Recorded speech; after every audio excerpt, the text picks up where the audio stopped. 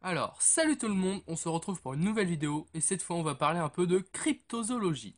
Alors attention, si vous croyez qu'il n'y a aucun monstre dans les cours d'eau et les rivières, vous mettez le doigt dans le... Bon, restons sérieux. Je vais vous présenter le Chapa. Le Chapa c'est quoi? Le Chapa est une créature imaginaire du Japon, mais vous allez voir qu'après cette vidéo, elle est peut-être plus réelle que ce qu'on croit. Donc le Chapa est une créature de la taille d'un singe avec le crâne chauve, un bec, une carapace badi. Ça en fait un sacré bordel. On dit aussi qu'il aspire les âmes de ses victimes et que, les âmes restent dans son ventre. Alors, une petite créature aurait pu inspirer le mythe du Kappa. Et cette créature, vous la connaissez. Il s'agirait d'une créature de chez nous. Enfin, pas vraiment. Mais vous allez voir, il s'agirait de la salamandre. Alors, je vous parle pas de la petite salamandre de chez nous. Hein.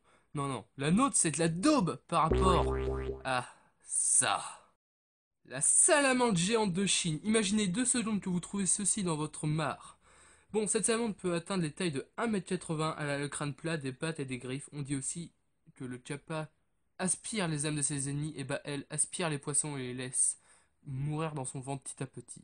Donc pour moi, la salamandre géante est l'animal qui a inspiré la légende du kappa. Alors, vous avez toujours envie de vous baigner?